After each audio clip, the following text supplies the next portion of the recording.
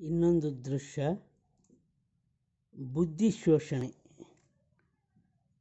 ಬೀದರಲ್ಲಿ, ಬೆಂಗಳೂರಲ್ಲಿ ದುಡ್ಡಿನ ದುರಾಸೆ ಹೀಗೆಲ್ಲ ಮಾಡಿಸುತ್ತದೆ ಅಲ್ವೇ ಕಾಲೇಜ್ ನಿವೃತ್ತ ಉಪನ್ಯಾಸಕ ಎಂದು ಎಂದು ಹೇಳಿಕೊಳ್ಳುವವನೊಬ್ಬ ಬೆಂಗಳೂರಿನಿಂದ ನನ್ನ ಸಾಹಿತಿ ಸ್ನೇಹಿತನ ಮನೆಗೆ ಬಂದ.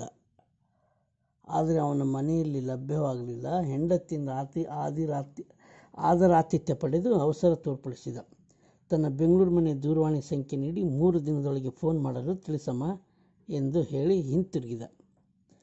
ನನ್ನ ಸ್ನೇಹಿತ ಮೂವತ್ತು ವರ್ಷಗಳ ಹಿಂದೆ ಪೌರಾಣಿಕ ಕಥೆಯೊಂದನ್ನು ಪ್ರಕಟಿಸಿ ಸಗಟು ಖರೀದಿಗೆ ಸಲ್ಲಿಸಿದ್ದ.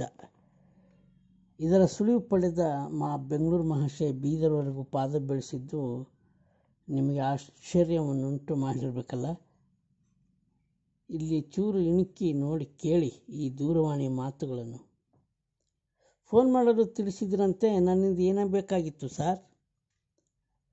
ಏನಾಗಬೇಕಾಗಿತ್ತು ಅಂತ ಇವಾಗ ಕೇಳ್ತೀರೇನ್ರಿ? ನಿಮಗೆ ಫೋನ್ ಮಾಡಲು ಹೇಳಿದ್ದು ಯಾವಾಗ?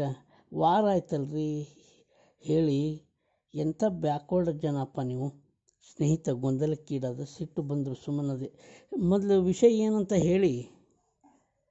ನಿಮ್ಮ ಪುಸ್ತಕ ಖರೀದಿ ಸಗಟು ಖರೀದಿಯಲ್ಲಿ ಆಯ್ಕೆ ಆಗಬೇಕೋ ಬೇಡವೋ ಹೇಳಿ. ನಿಮಗೆ ಸಹಾಯ ಮಾಡಲು ಬಂದರೆ ನೀವು ತುಂಬ ನಿರ್ಲಕ್ಷ್ಯತನದಿಂದ ಮಾತಾಡ್ತಿದ್ದೀರಲ್ಲ.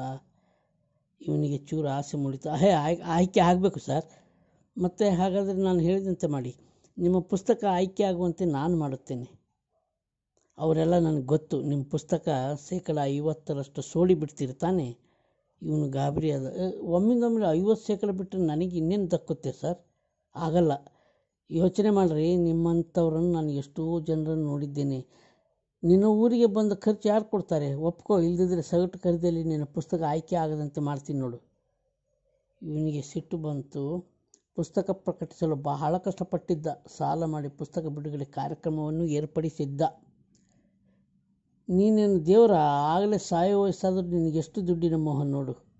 ಲೇಖಕರನ್ನ ಮೋಸ ಮಾಡಿ ಹಣ ದೋಚಲು ನೋಡ್ತೀಯಲ್ಲ ನೀನು ನನ್ನ ಮನುಷ್ಯನ? ಇದು ಎಷ್ಟಿಡಿ? ನಿನ್ನ ಜೊತೆ ಮಾತನಾಡೋದಕ್ಕೆ ಯಾರು ದುಡ್ಡು ಕೊಡ್ತಾರೆ? ನಿಮ್ಮಂಥವ್ರು ಇರುವುದರಿಂದಲೇ ಕನ್ನಡದಲ್ಲಿ ಪುಸ್ತಕೋದ್ಯಮ ಈ ಮಟ್ಟಕ್ಕೆ ಬಂದಿರುವುದು. ಮಾತನಾಡಿ ಏನು ಪ್ರಯೋಜನ? ಯಾ ಇಡ್ರಿ, ಕೆಳಗೆ ಫೋನು ಎಂದು ಅಷ್ಟೇ ಜೋರು ಮಾಡಿ ಫೋನ್ ಕುಕ್ಕಿದ ಆತ್ಮ ಗೌರವ ಪ್ರಶ್ನೆ ಅಲ್ವೇ? ಸಗಟು ಖರೀದಿ ಆಯ್ಕೆ ಮಾಡುವವರು ಇಂಥ ಮುದುಕ ಏಜೆಂಟರನ್ನು ವೈಯಕ್ತಿಕವಾಗಿ ನೇಮಿಸಿಕೊಂಡು ಛೂ ಬಿಡುತ್ತಾರೆನ್ನುವುದು ಕೌತುಕದ ಸಂಗತಿಯೇ. ಬುದ್ಧಿಜೀವ, ಜೀವಿಗಳ ವರ್ತುಲದಲ್ಲಿ ಅವರ ಬುದ್ಧಿಯನ್ನೇ ವ್ಯಾಪಾರಕ್ಕೆ ಬಳಸಿಕೊಂಡು ಶೋಷಣೆ ಮಾಡಿ ಹಣದ ಗಂಟು ಮಾಡುವ ಮಧ್ಯವರ್ತಿಗಳ ಜಾಣತನವು ಭ್ರಷ್ಟಾಚಾರದ ಇನ್ನೊಂದು ಗುಪ್ತ ದಾರಿಗೆ ಹಿಡಿದ ಕನ್ನಡಿ ಅಂತಾಗಿಲ್ಲವೇ